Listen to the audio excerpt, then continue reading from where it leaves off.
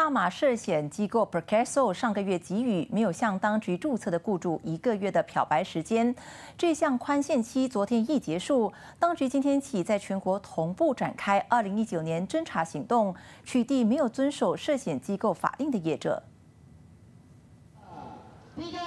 大马涉险机构今天在全国同步展开第十一次涉险侦查行动。截至中午，全国突击检查了一千零八十名雇主，开出九十六张罚单，与媒体员工缴涉险的雇主。在槟城，涉险机构一哥穆哈默阿兹曼更是亲自带队，在乔治市突击两百五十一名雇主，当场开出十八张罚单给违例业者。根据一九六九年雇员涉险法令，雇主即便只聘请一名员工。工不管薪水多少，都必须在三十天内向涉险机构注册，缴付涉险费。不过，一些雇主通常会以不知道、不确定和经营小生意为由，来合理化拒绝为雇员缴付保险。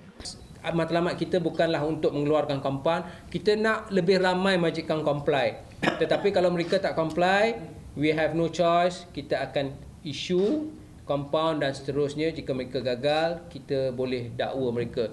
截至去年十二月三十一号，共有六十一万三千八百六十名雇主向涉险机构注册，共有七百一十七万名员工享有涉险保障。但全国还有百分之十的雇主没有为员工注册涉险。而在三月的漂白期间，一共有七千五百零八名雇主向当局注册，比二月的五千一百四十七名雇主增加了百分之四十八。若雇主违例，该机构将发出介于五百至四千令吉的罚单。有关雇主若再被法庭定罪，则可被罚款不超过一万令吉，或不超过两年监禁，或两者兼施。